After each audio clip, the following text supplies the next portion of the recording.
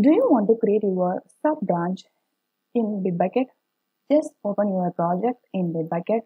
In there is option like create. So just go to that, click on branch.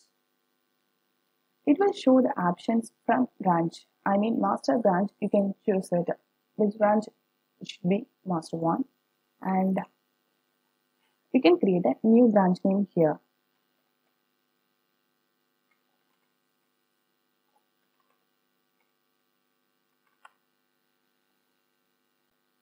I have this name and just click on create button.